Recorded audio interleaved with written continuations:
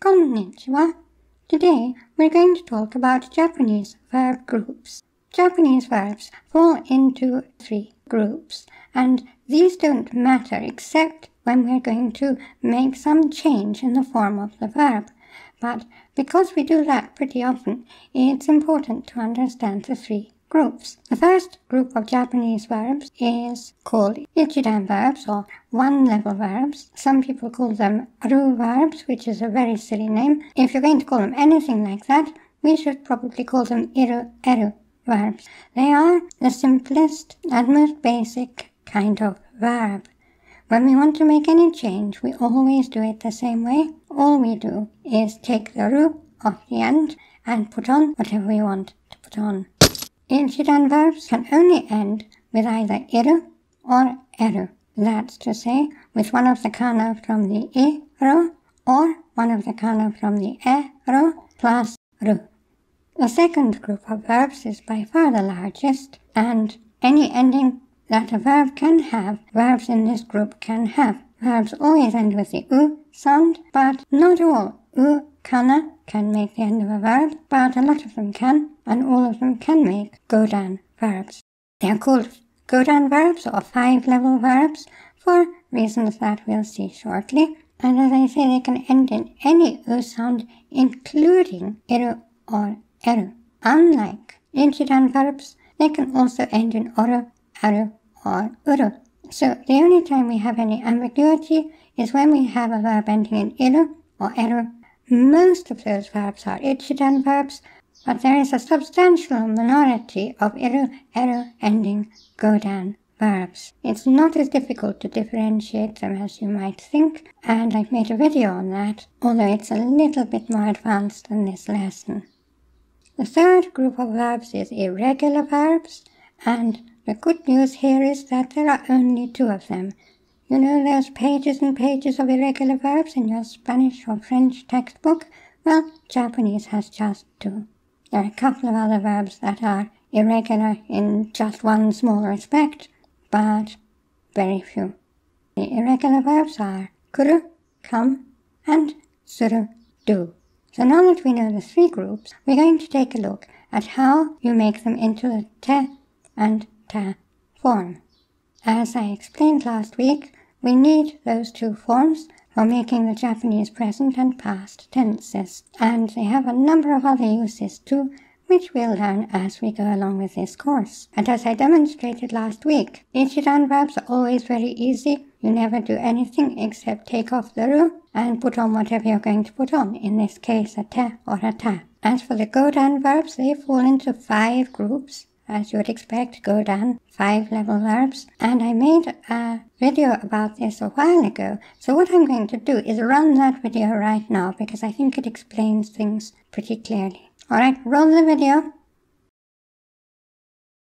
Godan verbs have five kinds of possible ending.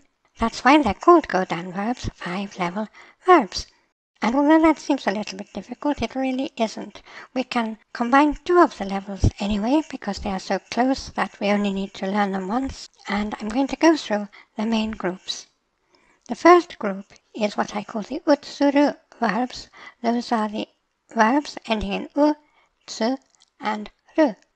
The word utsuru in Japanese, if you don't know it, now is a good time to learn it. Utsuru means to move from one thing to another, and that's exactly what we're doing here, moving our verbs from one type to another. So the verbs which end in u, tsu, and ru all transform in the same way to the te form. We take off the u, the tsu, or the ru, and we replace it with a small tsu plus te, or ta in the ta form.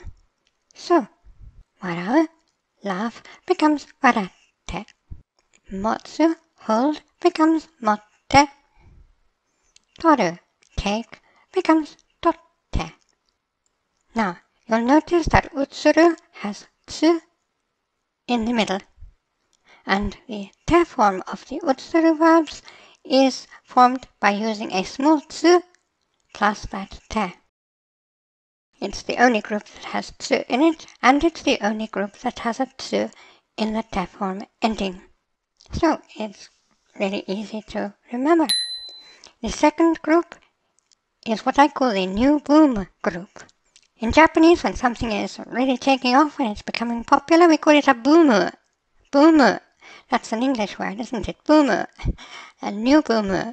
So, this group I call the new boomer group because there isn't a Japanese word that you can make out of nu, bu, uh, and mu that I know of.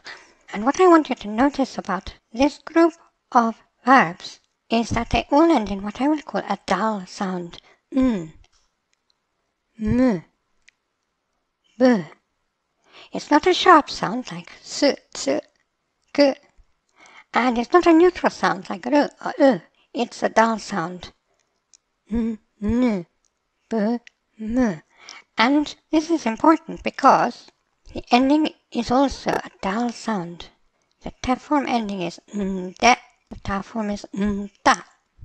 So, shinu, the only nu ending verb, becomes shinde. Shinda. Nomu, drink, becomes nonde.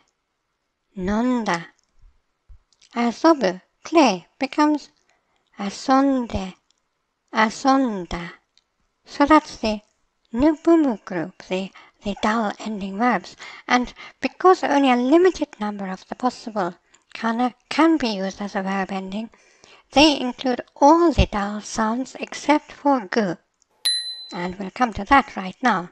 I told you that two of the groups were combined, and that is the ku and gu group. To make the te form of a ku ending verb, we cut off the ku and add ite or ita in the ta form. So aruku, walk, becomes aruite, aruita. Now, if we have a ten-ten on that ku to make it into a gu, it's exactly the same, except that there is also a ten-ten on the te ending. So aruku becomes aruite. But oyogu, to swim, becomes oyoide. But as you see, the two are more or less identical. It's just that if there's a ten-ten on the original verb, there's a ten-ten on the te form too. Aruku, aruite, oyogu, oyoide. And now we just have one left, and that is su. And verbs ending in su, drop the su, and add shite. As you will notice if you have followed our last lesson, we are just doing that regular thing of shifting the su kana to its iro equivalent shi. So hanasu, talk, becomes hanashite. The masu helper verb, which turns verbs into formal verbs in the past tense, becomes mashta. So there we have all the godan verbs. What didn't I look young in that old video? Now we're just going to look at the exceptions.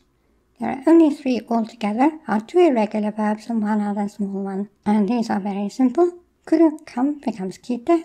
Suru, do, becomes shite. And iku, the verb iku, to go. Because it ends in ku, you would expect it to become iite, but it doesn't, it becomes itte and those are the only exceptions. So if you go over the video a couple of times, I think you'll find it pretty easy to know exactly how to make the te and ta forms in all cases. If you have any questions or comments, please leave them in the comments below. And I'd like to thank my Gold Kokeshi patrons on Patreon for helping to make this video possible.